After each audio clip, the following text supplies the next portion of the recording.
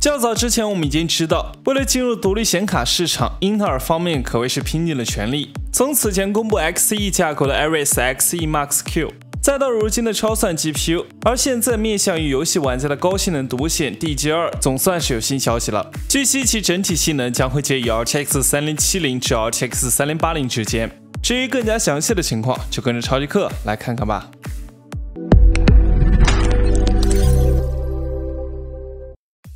其实早在今年一月份的 CES 展会上，英特尔就为大家展示了代号为 DG1 的 Xe-LP 架构独显，其基于十纳米工艺打造，拥有九十六组 EU 执行单元，七百五十八个流处理器，并配备了四 GB 的 LPDDR4 显存。然而比较遗憾的是，考虑到 DG1 是专门为 OEM 厂商设计的，所以其并没有外接供电，并且仅为单风扇设计。TDP 功耗也不过三十瓦，所以其整体性能仅与 GT 幺零三零相当。而从这些参数也不难看出，DG1 显然不是为游戏玩家而准备的。但不用担心，在主流的游戏显卡方面，英特尔已经做好了万全准备。而这就是大家期待已久的 DG2 独显系列。具体来看，DG2 独显将会基于英特尔高性能游戏级的 Xe HPG 架构打造，并将采用台积电的七纳米制程工艺。而在详细的规格方面，目前 DG2 系列一共有五个 SKU 版本，性能从高至低分别是 DG2 512EU、DG2 384EU、DG2 256EU、DG2 128EU、DG2 96EU。其中定位于旗舰的 DG2 512EU 将拥有512组 EU 执行单元、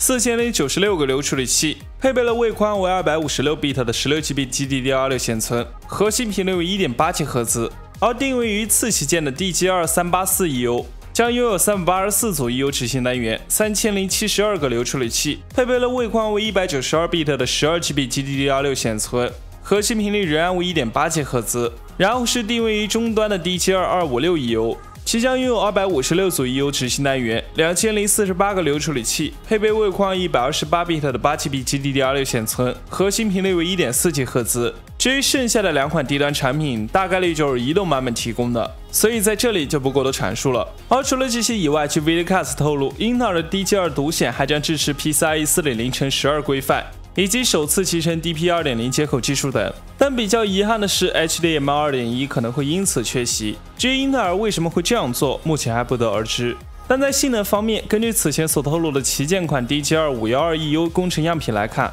其拥有八加六 pin 式电源供电。加速频率二点二 G 赫兹，单精度浮点运算在十八 T 浮点左右，而整卡功耗也达到了二百七十五瓦。如果要与目前的 N 卡相比较的话，并在不考虑光追的前提下，DG2 512EU 整体性能将会介于 RTX 3070和 RTX 3080之间，与即将发售的 RTX 3070 Ti 非常接近。同时考虑到这还只是工程样品，那么正式版的性能可能会更强。最后，Ghost Lab 表示，定位于低端的 DG2 128EU 和 DG2 96EU 两款产品，最快将于今年十月至十二月批量生产；而定位于高终端的 DG2 512EU、DG2 384EU 和 DG2 256EU 三款产品，最快也需要等到明年。所以各位游戏玩家，还请耐心的等待。其实也看得出来，英特尔为了紧跟 AMD 和 NVIDIA 的步伐。选择在这个时间段进入独显市场的做法，肯定是有着自己的如意算盘。更何况在目前这个大环境下，确实是需要注入新鲜的活力。